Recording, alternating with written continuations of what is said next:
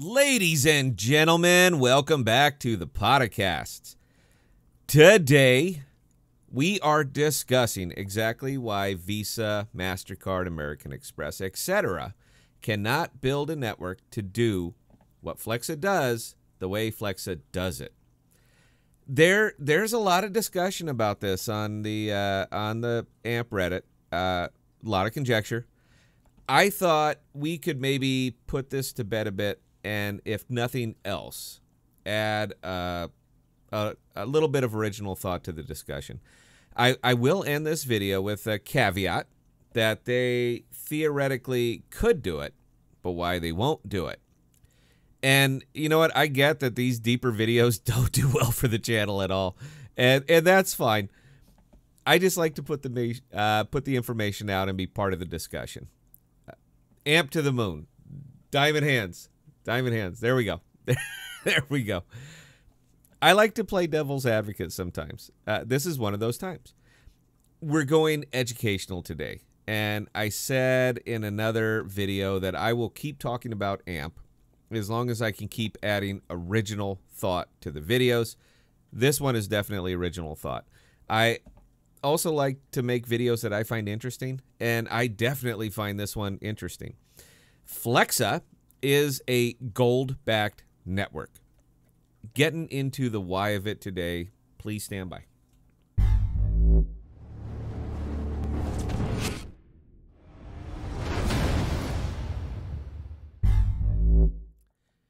This is not a thrilling video.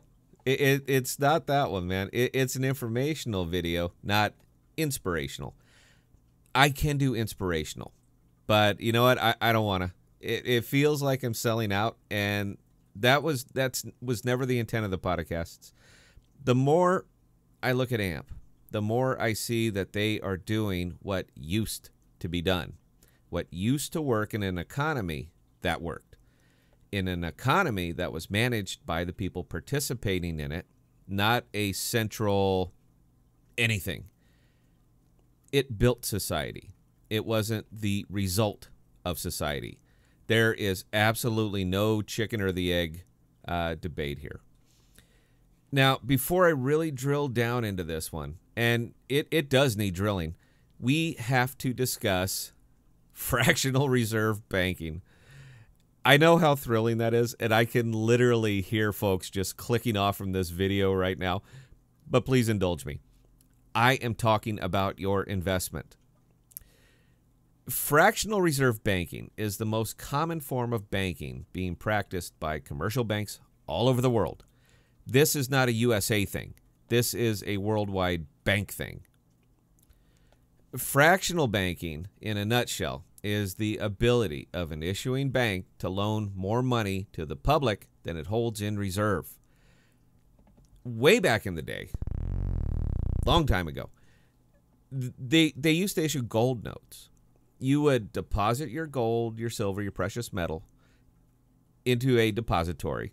They would give you a note for the amount deposited, and you could trade the note. This was the original gold backed currency, one for one ratio. And it worked wonderfully until there's always an until in there. This worked wonderfully until banks figured out that they could literally issue more notes than they had gold in reserve because the odds of every note holder calling them in at the same time was very small. This was the birth of fractional banking, and it still applies today. By law, today, issuing banks only need to hold a fraction, fraction of the debt that they issue, a fraction of the reserves. Now, in for legacy pay rails, this this is not a problem they can issue debt up to their fractional requirements, and these requirements can be changed by the central bank at any time. They are manipulated constantly as a way of spurring spending. Decrease the ratio to increase spending, easy credit. Increase the ratio to control inflation, higher standards of credit. It is a manipulated economy similar to what is seen in, uh, you know, what every country around the world. This sort of matters to you as an investor in Flexa because you are the bank. But you're operating with uh, with handcuffs on. You cannot participate in fractional banking. Crypto doesn't work that way. Crypto exists on a one for one ratio, period. Before you can collateralize a purchase, you have to maintain an exact reserve value for the collateral. That's why Flexa posts their numbers. It's right up there. The thing that makes Flexa very unique, uh, as in never done, is the nature of it as a gold backed digital network. When a transaction occurs on the Flexa network, Flexa guarantees the transaction as an effective uh, loan to the merchant. $7 spent at Dunkin' Donuts, Flexa buys the debt note from the merchant on a one for one ratio. Merchant pays Flexa 0.5% for the guarantee of payment. Flexa recovers the debt from the issuing bank. It operates, Flexa operates as a bank in that it pays the merchant, and it operates as a pay rail in that it recovers the debt after the fact. Any debt credit card, crypto, banknotes, it doesn't matter.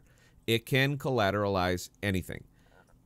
Flexa is not loaning money, it is buying debt, and it is backing it on a one for one basis, dollar for dollar. And, you know, I know this is getting away from me, and please hang on. I promise I'm getting to it.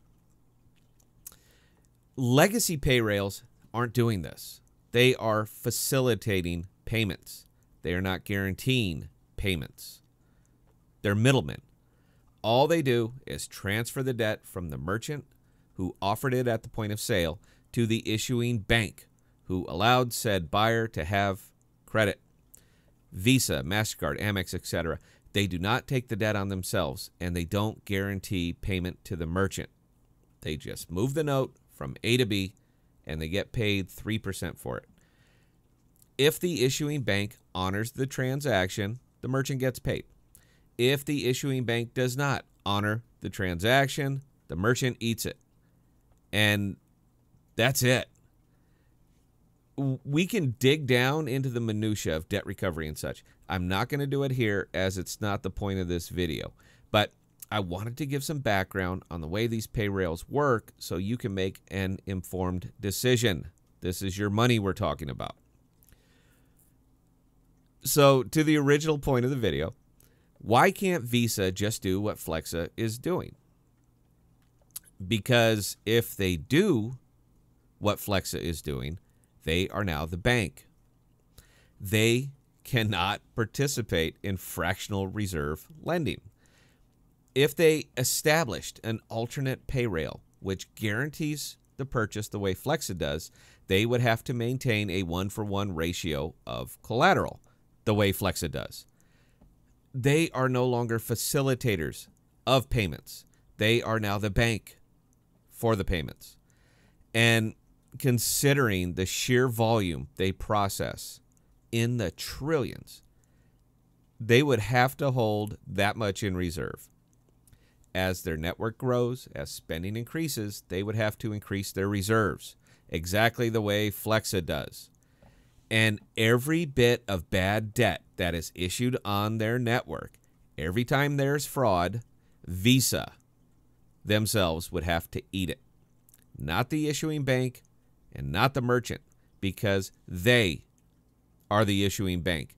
And they don't have a mechanism in place to recover the debt like Flexa does. Hypothecation, sell the collateral on the open market. You can't do that with dollars because nobody is going to buy one for one on bad debt. And just so you know, I did my research for the granddaddy of why legacy systems can't do what Flexa does the way Flexa does it. They have a patent. Cryptocurrency Acceptance System, assigned to Flexa Network Incorporated, 2019, November 26th application US 16 slash 694459. But considering that legacy pay rails are just a fountain of innovation and development, maybe they can find a workaround. I'm just not seeing it. I I, I don't see how they I don't see how they could, man. So I hope this puts some of the conjecture to rest. Maybe. The only way Flexa can work is exactly the way it does work, and they have a patent.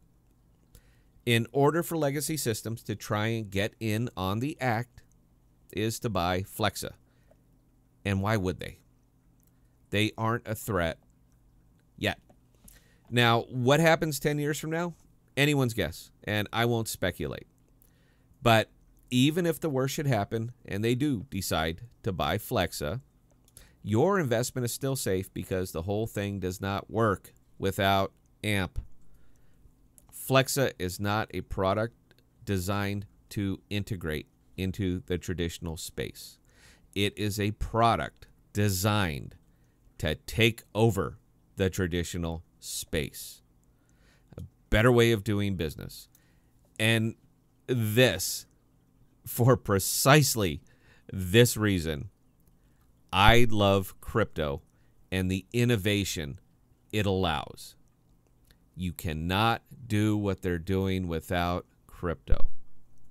I'm just saying. Uh, live stream on Thursday, 7 Central. Cheers.